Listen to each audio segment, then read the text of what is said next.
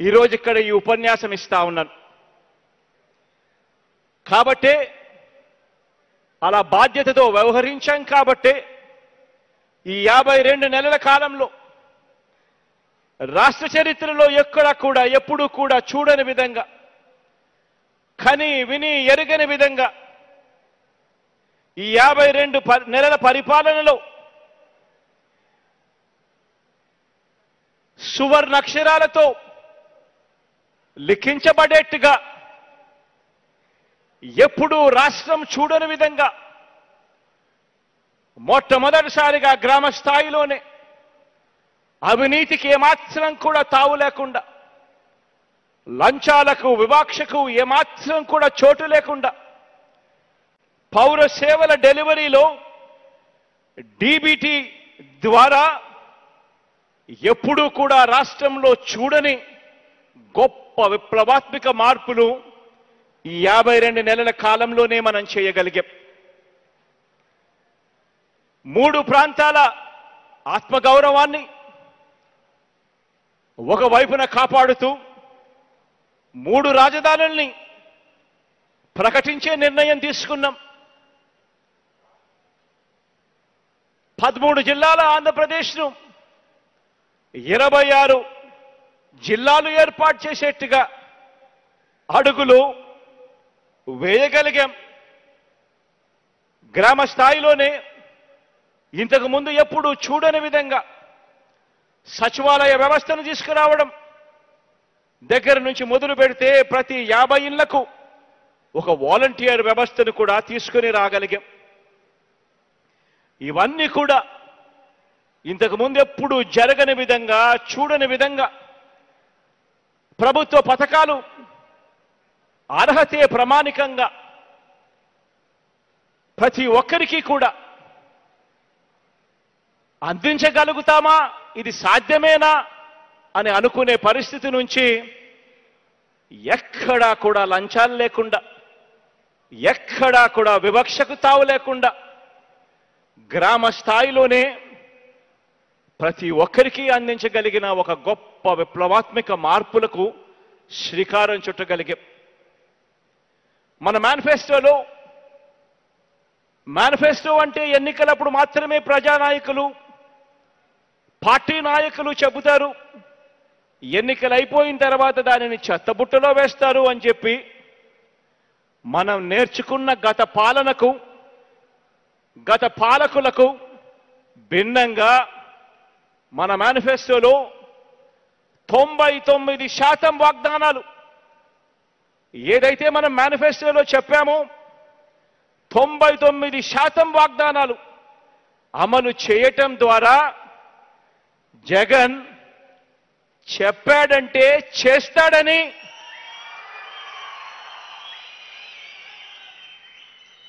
మాట నిలబెట్టుకుంటాడని కష్టమైన నష్టమైనా కూడా అండగా ఉంటారని మంచి పేరు దేవుడు దయతో తెచ్చుకోగలిగాం.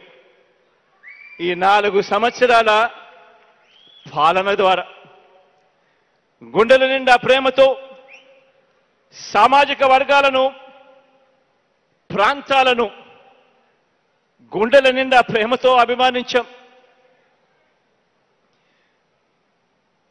ప్రతి మాటకు ముందు నా ఎస్సీలు నా ఎస్టీలు నా బీసీలు నా మైనారిటీలు అంటూ ప్రతి మాటకు ముందు నా నా నా అంటూ ఆ మాటకు అర్థము చెబుతూ రెండు లక్షల ముప్పై ఐదు వేల కోట్ల రూపాయలు రెండు లక్షల ముప్పై ఐదు వేల కోట్ల రూపాయలు డీబీటీ ద్వారా. అంటే నేరుగా మీ అన్న బటన్ నొక్కుతా ఉన్నాడు. నేరుగా నా అక్క చెల్లెమ్మల కుటుంబాల కుటుంబాల ఖాతాలకు నేరుగా వెళ్ళిపోతా ఉంది.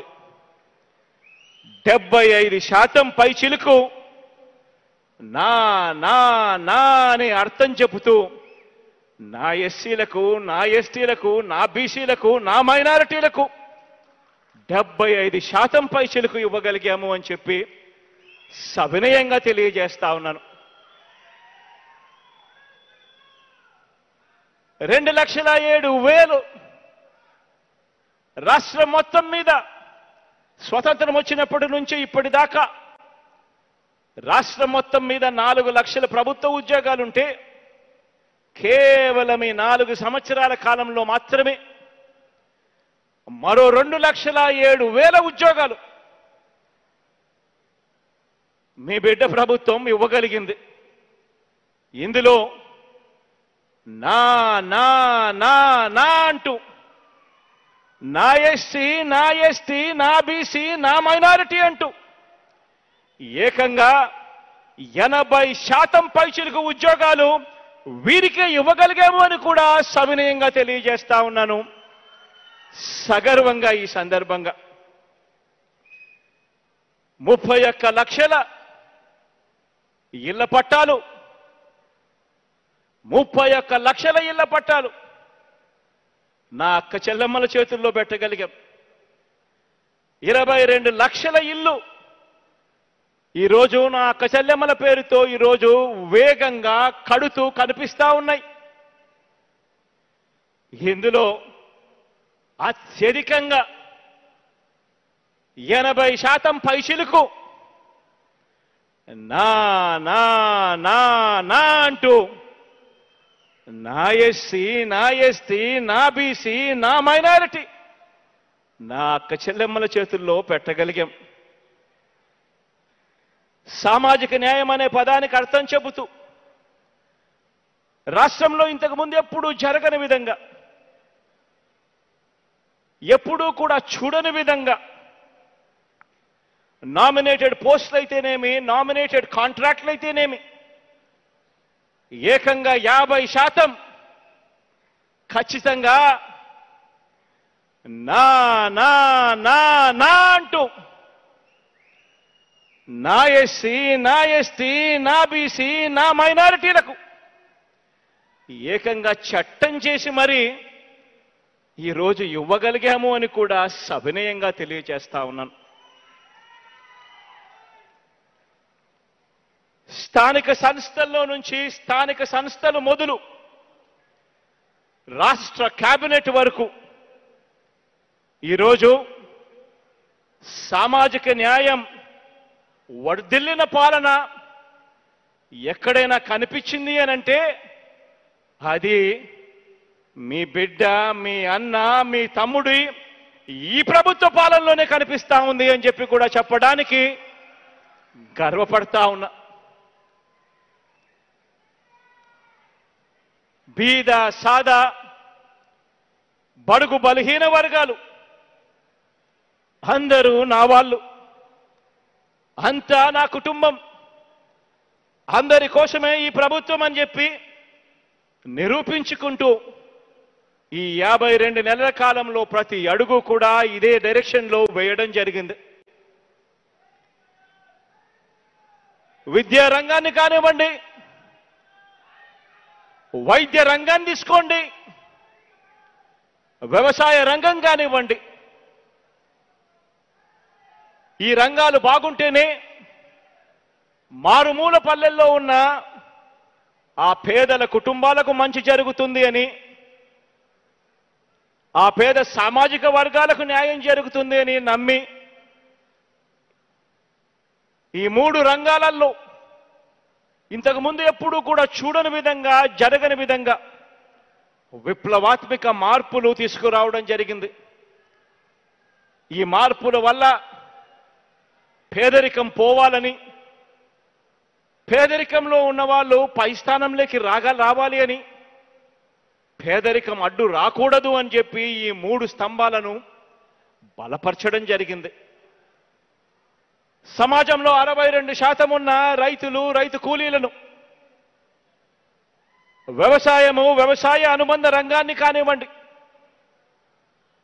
లేకపోతే సమాజంలో యాభై శాతం ఉన్న నా అక్క చెల్లెమ్మల సాధికారత కానివ్వండి. గతంలో ఏ ఒక్క ప్రభుత్వం కూడా ఆలోచన చేయడానికి కూడా సాహసించని విధంగా ఈరోజు ఈ వర్గాలకు తోడుగా నిలబడగలిగాము అని చెప్పి కూడా సవినయంగా సగర్వంగా తెలియజేస్తా ఉన్నాను. రాష్ట్ర చరిత్రలో ఎక్కడా కూడా ఎప్పుడూ కూడా చూడని విధంగా జరగని విధంగా. ఒక మాటలో చెప్పాలి అనంటే నా మూడు వేల ఆరు వందల నలభై ఎనిమిది కిలోమీటర్ల పాదయాత్రలో నేను వేసిన ప్రతి అడుగులోనూ కూడా ప్రాంతాల వారిగా అయితేనేమి సామాజిక వర్గాల వారిగా అయితేనేమి వృత్తి వర్గాల వారిగా అయితేనేమి పేదలుగా మహిళలుగా పిల్లలుగా అవ్వ తాతలుగా వారు ఎదుర్కొంటా ఉన్న ప్రతి సమస్యకు వారు ఎదుర్కొంటా ఉన్న ప్రతి సమస్యకు ఈ యాభై రెండు నెలల కాలం